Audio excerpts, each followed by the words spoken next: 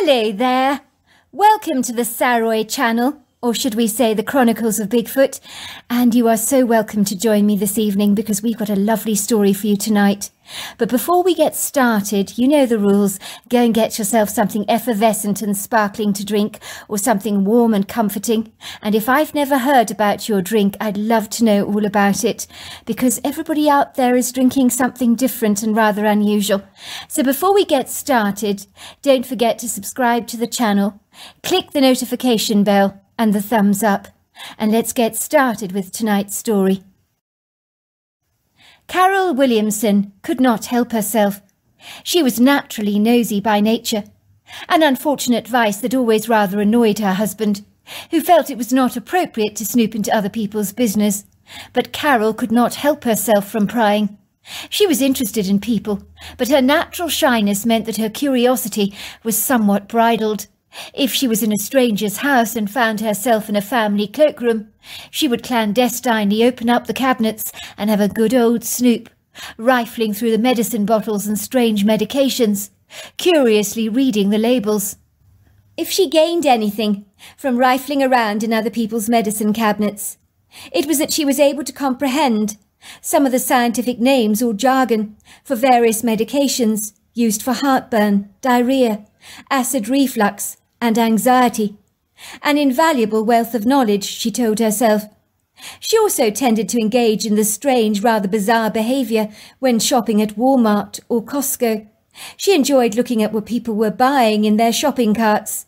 It was amazing what she would glean about people from their shopping. And the added plus was she found herself experimenting with brand new brands of products for her own family, from shampoos to interesting varieties of delicatessen meats. Carol could see the dark blue removal van, parked outside the old Victorian house opposite their home, in their illustrious green leafy Toronto neighbourhood, known for its large congregations of renovated Victorian homes from the 1860s to 90s, many that had been superbly restored to their former glory over the years, so that the dignified opulent houses in Cabbagetown made you feel as if you were stepping back in time to the 1800s they showily boasted Gothic influences, intricately designed woodwork, pitched roofs, wraparound porches, turrets, roof towers, and lavishly ornate gingerbread trim. You could almost envisage the cobblestone streets of bygone days, the oil-fired street lamps, the horse-drawn carriages, the people bustling up and down the streets, the smell of roasted chestnuts permeating the air, the muffin man standing on the street corner, with his large basket of pastries, crying out, Fresh pastries for sale, two for the price of one. Very good deal. Carol enjoyed living in Cabbagetown, as all the individualistic Victorian houses were steeped in such a rich, vibrant history. Even if you were someone who did not approve of Victorian architecture, you would definitely feel something quite profound walking down these tree-lined neighbourhoods and glancing at the historic homes Carol wasn't sure what the feeling actually was, but she perceived that the houses seemed to have soaked up their rich, illustrious history, like the prunes in a bowl of tea, and they wore that history proudly, with a lofty, regal deportment, as if the houses themselves knew exactly how good they looked. It was a beautiful spring morning, with no sign of a cloud in sight. It was fresh, the sky a cup of cornflower blue, the soft, buoyant sunlight streamed through the tall, lofty trees that serenaded both sides of the street, with boughs richly covered in a sumptuous tapestry of green, leafy foliage. These ancient, stoic trees, the silent witnesses of past generations, come and gone. Most of the distinguished Victorian houses in the street were fringed with small front yards, neatly trimmed hedges, little white picket fences, pretty courtyards, beds filled with hollyhocks and chrysanthemums. The pretty street was dappled in the soft shadows of early morning, the plants covered liberally in moist, fragrant dew, and the only sounds that injected the silence on this quiet, tranquil street were the pretty trills of the bird song.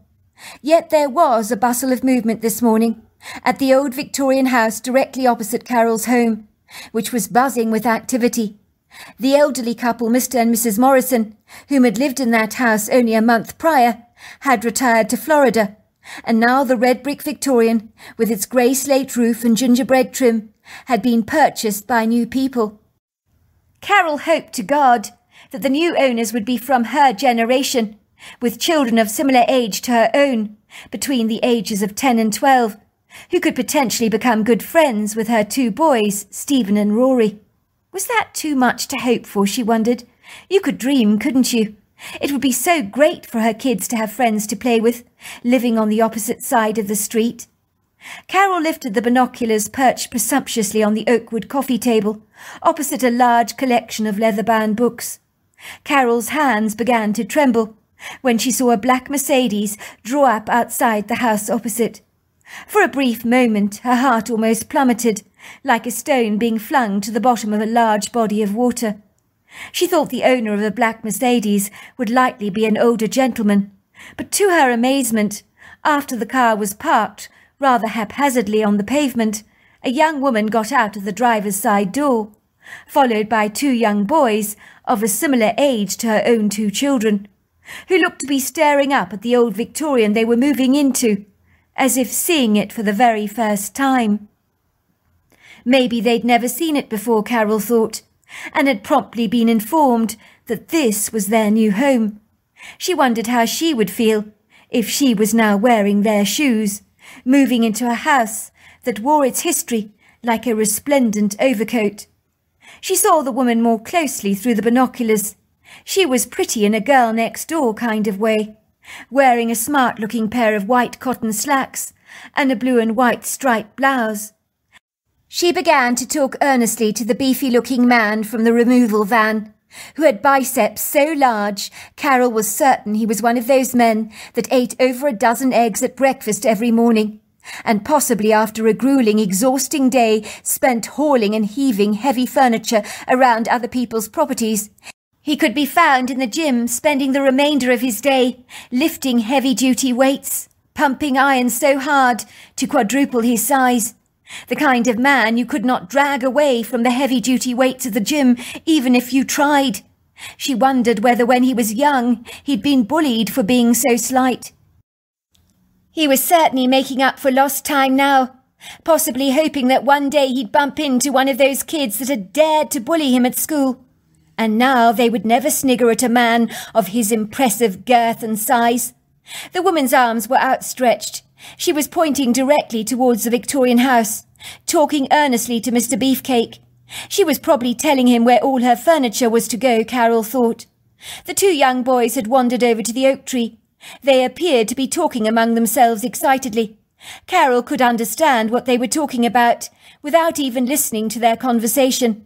Let's just say the towering oak trees on the street, with their huge sculptural boughs, were begging to be climbed. One of the boys attempted to climb the tree, but moments later their mother was demanding the kids to stop dawdling and help her unload some of the boxes from the back of the black Mercedes, which they did, their faces dappled with disappointment. Soon Carol was watching some ornate pieces of rosewood, oak and mahogany furniture, expensive antiques, rolled up Persian carpets, rococo mirrors covered in intricate carvings of flowers and leaves, large paintings sellotaped together with bubble wrap, along with boxes of stuff labelled kitchen, bedroom, lounge, scullery. They were all being brought into the house from the blue van by Mr. Beefcake, along with his spindly-looking companion, who was tall and lean, but surprisingly strong for one of such a slight build. Could they be brothers, Carol wondered? They certainly looked remarkably alike. She could understand why the young woman and her husband had bought the house opposite. It was one of the best-looking, most envied Victorian houses on the street that had fetched a tidy sum, and probably cost a small fortune to boot. It had been snapped up immediately, on its very first opening day. Houses like that never stayed on the market for very long. What are you looking at? asked Carol's husband, coming into the wood-panelled living room, with its long, sweeping, velvety curtains that caressed the top of the gleaming oakwood floors, and resplendently framed the bay box windows, overlooking the house opposite. He didn't need to ask what she was doing. As her husband was fully aware of Carol's propensity to spy on the goings on in the street. But he could never resist having a dig at her for being so nosy. So who are you spying on now, my sweet lovely? He teased, giving her a friendly little peck on the cheek. Anything I should know about? Carol became defensive. Don't be silly. Of course I'm not spying on anyone. She lied, her pale skin growing a shade of crimson as her cheeks heated. What do you take me for? I'm just watching the new people move in, that's all. It's a free world. I'm entitled to do what I want. I notice there's a couple in their thirties, I think, moving into the old Victorian opposite. And they have kids of similar ages to ours. Isn't that great news? Her husband shrugged his shoulders. That depends if we get to know them at all. A lot of people around here keep themselves to themselves. That's what folk are like these days. Private, reserved, very contained. It's not like it used to be in the good old days, when there was a thriving community spirit. People knew their neighbours on first name terms. I don't know half the people that live on our street, so it's highly doubtful we'll get to know the neighbours opposite us. Unless, of course, by nature they're naturally gregarious and outgoing and their kids happen to attend the same schools as ours. Well, we'll get to know them if we make an effort, said Carol firmly. Her husband looked at Carol doubtfully. You're extending the hand of friendship to strangers, are you? That'll be a first time ever, he chuckled. You're not exactly the assertive type, and you can be painfully shy towards strangers. So why change the habits of a lifetime? I'm tired of not knowing people on this street, that's why, said Carol. If it means overcoming my timorous leanings, then I'm going to do it. Sometimes you have to rise above your fears. That's what surfers do all the time, don't they, when they ride those waves? I bet sometimes they're desperately afraid, but they do it anyway. It's called feeling the fear and doing it anyway. Good for you, sweetheart, said her husband, sounding impressed. I, for one, will be the first to applaud you for trying to overcome your shyness. Go over then, visit the woman, bring her a cake or something. You know, that's a great idea, said Carol.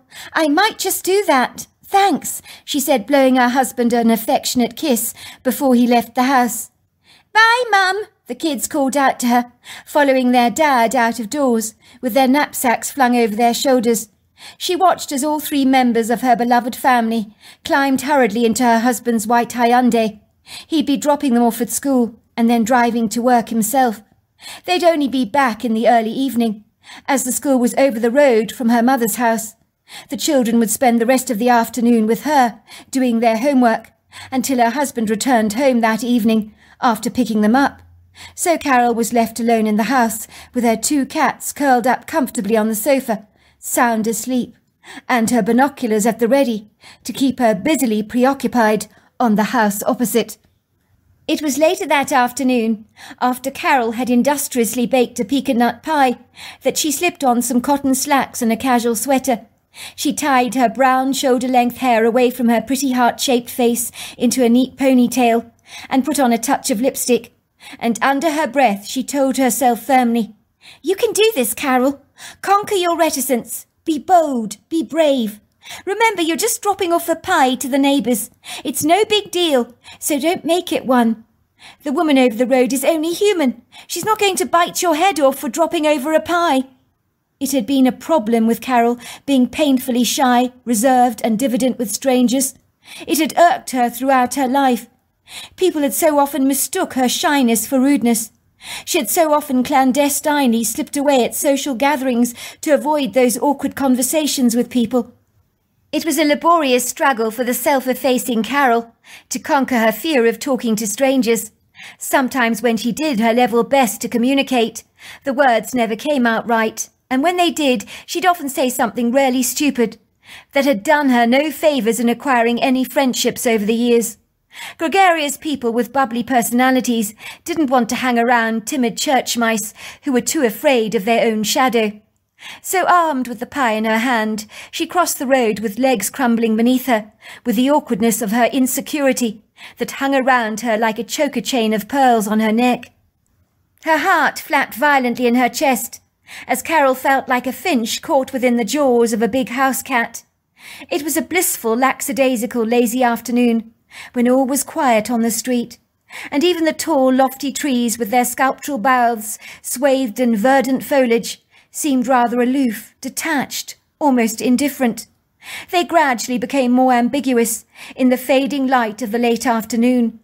The temperatures had dropped significantly, and there was a distinctive biting chill in the air, but Carol barely noticed the cool breeze nudging against her skin. The gunmetal grey sky was deepening, becoming inkier with every passing minute. Carol's family had not returned home yet, so now was the time to strike while the iron was hot.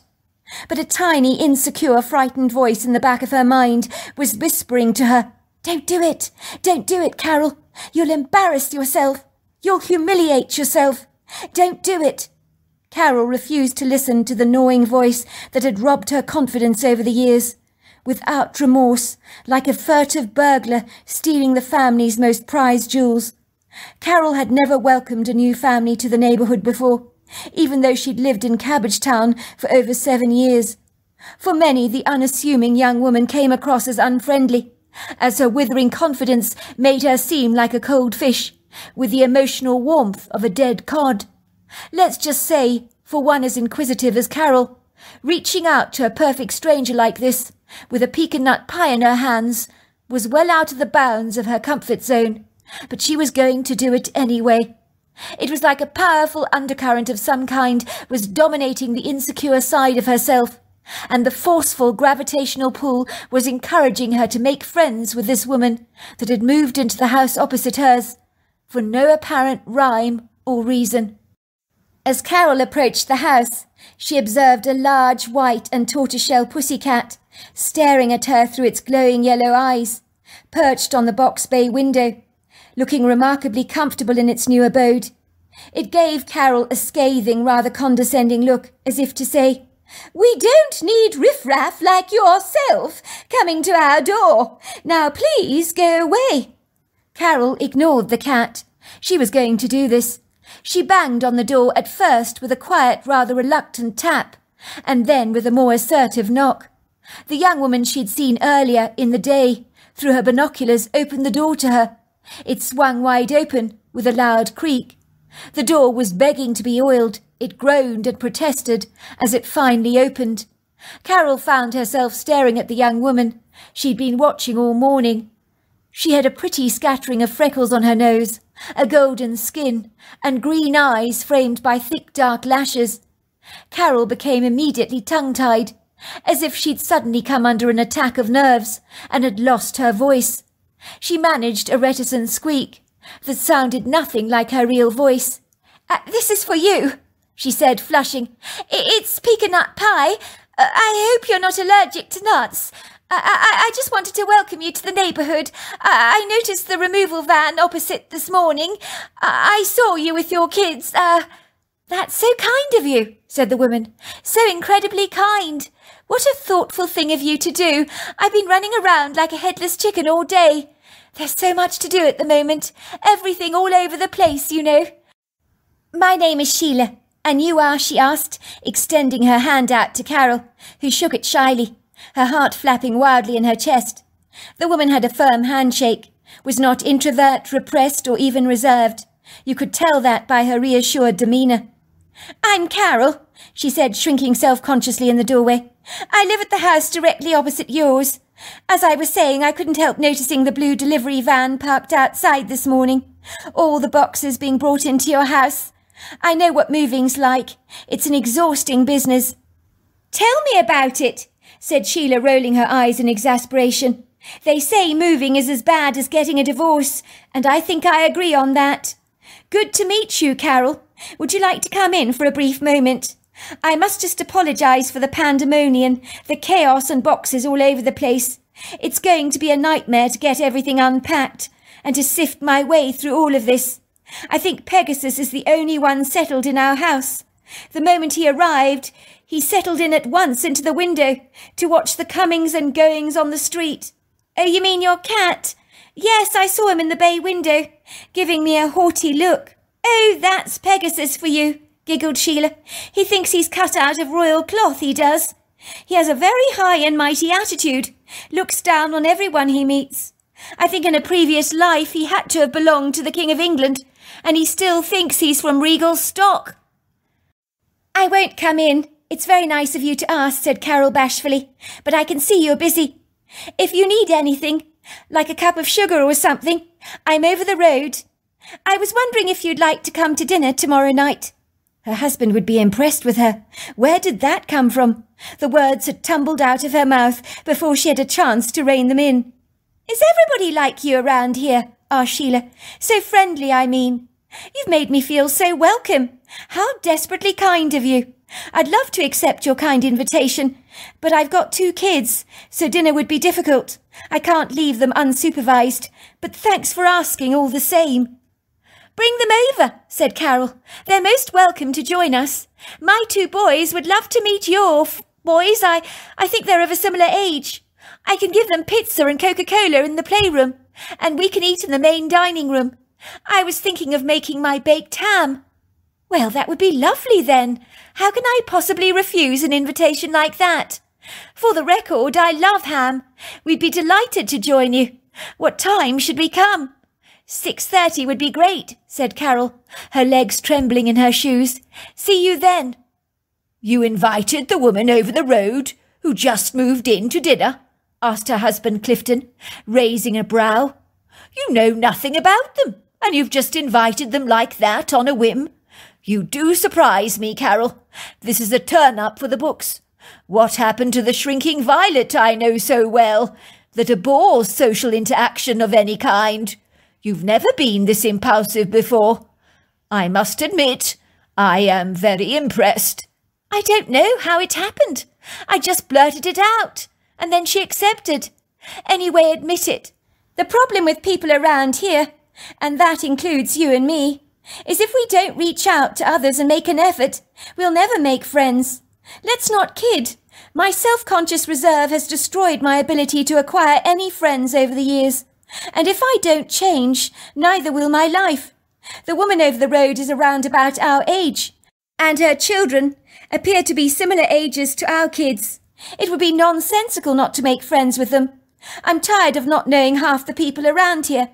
People may be friendly, but they keep themselves to themselves. And I don't help myself by being so unapproachable, like a large brick wall. Well, sweetheart, if you conquer your fears like you did today, you'll certainly begin to make friends. You never give people the chance to get to know you. They think you're standoffish and rude, but you're anything but. I've got a great feeling we're going to like them, said Carol confidently. She seems desperately nice. Our type of people, I think they are. The dinner had gone better than anyone could have anticipated. There was a natural camaraderie and rapport among the adults. Lots of banter around the table. A plethora of laughter. The couple's kids were hitting it off favourably, with Carol's own children. They were playing Monopoly in the old Victorian playroom at the back of the house, eating pizza washed down with large glasses of Coca-Cola, and by the sounds of things having a rip-roaring time. Occasionally the cheerful giggles and chuckles could be heard permeating the walls of the wood-panelled dining room, where the adults had congregated for dinner. Carol felt as if she'd known Sheila for an age, when they'd only just met, and Clifton was getting on favourably with her husband Niles, whom shared her husband's passion for wildlife photography. The conversation flowed as smoothly as the Cabernet Sauvignon they were drinking back. The refreshing alcohol, with its fragrant floral notes, seemed to actively encourage the breaking away of inhibitions and the loosening of tongues. Carol, normally restrained by her demure, lowly reticence, found there were moments she became quite animated, so much so she failed to gain control of her tongue, and followed the age-old rule of avoiding discussing certain taboo contentious subjects, like religion and politics. It was as if the shy woman had come out of her cocoon and transformed herself into a beautiful butterfly. The food Carol prepared this evening seemed to have been met with great appreciation. Thick slices of warm gammon ham, served with warm potatoes, asparagus and Greek salad. It was melt-in-the-mouth delicious, and the warm, succulent meat crumbled in the mouth. I have to say this is absolutely delicious, Carol, Sheila had praised her. Remind us to come over to you folk for dinner more often. Carol was pleasantly surprised to find that Sheila's two boys, Peter and Paul, were exactly the same age as hers, so it would seem that the couple had much in common. As is the case with couples who have children of a similar age, it seemed inevitable that the conversation began to veer towards their children, the schools, the sports, so much more besides, and Carol was talking more than she had ever done in her entire life. So do your children by any chance have any unusual passions? Sheila had asked Carol. I know my son is fixated by anything to do with pirates. He loves to dress up as Captain Jack Sparrow. Unusual passions, said Carol. Let's see. That would be Stephen, she said, chuckling. Stephen's completely crazy about that program, Finding Bigfoot. Oh my God, you should see him. He's so addicted to anything Bigfoot related. He gullibly swallows up the accounts as if they're the gospel truth. Of course, I try to tell him that Bigfoot is not real, but he won't listen to my ramblings. He tells me I'm the naive one for doubting eyewitness accounts, for believing it's impossible for a creature like that to actually exist. That boy of mine, he's got a big imagination, she says, taking a large sip of her wine, letting out a giggle, followed by an inappropriate hiccup, which morphed into several more embarrassing hiccups. There was a long, uncomfortable silence around the table. It was so tangible you could feel it, almost as if you were playing a game of musical chairs. And when the music stopped, the whole table froze like a picture in a storybook, trapped in that moment in time, or a frozen black and white photograph. It was like everyone stopped eating. The cutlery and china stopped clinking. It would seem three pairs of eyes were pinned on Carol, as if the words that had so easily rolled off her tongue had caused great offence, as if she had trespassed onto conversation that had high boundary walls and forts. Oh my God, she thought to herself, I've breached my etiquette as a hostess. I've struck a raw nerve here of impropriety with an inappropriate faux pas or gaffe. What have I said? Then it occurred to her that her guests possibly believed that Bigfoot was real and inadvertently she had poked fun at them by mocking her own son's fervent passion for the critter. This was a social blunder of note that had landed her in the hot syrup, like a fly swimming around in a honey pot that was almost impossible to fish out intact. What had she done? Sorry, did I say something to cause offence? asked Carol, looking around apologetically at the faces staring back blankly at her. Some sensitive topics should not be discussed with strangers controversial subjects that could easily ruffle feathers, and maybe Bigfoot was one of them. It was Sheila that broke the awkward clawing silence. She frowned. Why are you so sure Bigfoot is not real? She challenged. Look at America. Look at Canada. So much uncharted remote wilderness. So much untraversed, unexplored space. And you really think it's not possible for a creature like Bigfoot to exist? If you don't mind my saying, Carol, it strikes me that you're the naive one here, not your son, Stephen.